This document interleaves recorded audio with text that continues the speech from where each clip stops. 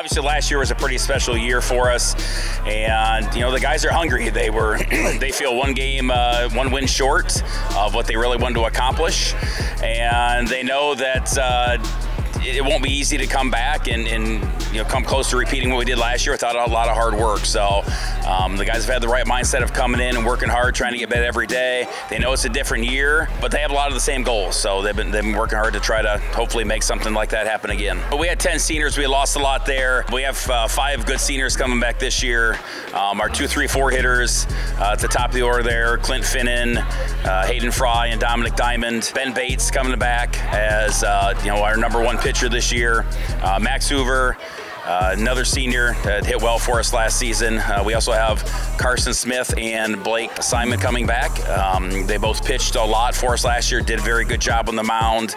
Um, you know, so even though we lost a lot, we have a lot of good, young, talented players coming back. The, the SBC Bay is always tough. Uh, Margaretta's got most of their team back from last season. Uh, has a good, young, upcoming uh, pitching staff. Uh, Oak Harbor has a lot of talent back from last season. Port Clinton and Huron in there. Huron was our only league loss last year, uh, so th- that's always tough. Um, you know, we play up a lot, so we play a pretty tough schedule, and then there's a lot of good teams in the area that uh, saw the success we had and uh, know that they're uh, very similar talent-wise, and think that they have a good chance to make some long-term runs too. So it's going to be, uh, you know, a battle night in and night out to try to make this a successful year.